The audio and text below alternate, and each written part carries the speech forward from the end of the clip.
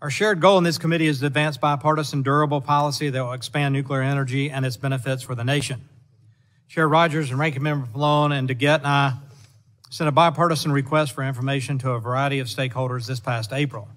Based on feedback from this request and the hearings we've had since, it's clear that more can be done to modernize the Nuclear Regulatory Commission, the Department of Energy, to advance nuclear energy in this country.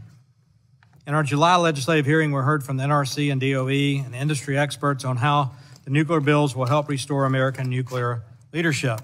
For example, my legislation would align the mission of the NRC with the policy goals of the American, uh, excuse me, the Atomic Energy Act to maximize the benefits of nuclear for general welfare.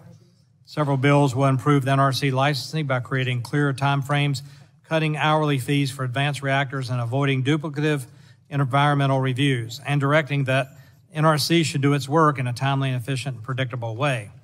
Other bills seek to advance nuclear deployment at the DOE and will enable the United States to regain our global nuclear leadership. I'm proud of the bipartisan work on these 12 bills and optimistic we'll get to a place on two bills not listed today, which remain important priorities. Mr. Griffith's legislation would eliminate an outdated hearing requirement, NRC, which the Commission itself has said is not needed. Mr. Walberg's bill similarly would update NRC requirements involving an advisory committee. These are priorities that we want to continue moving through the Energy and Commerce Committee.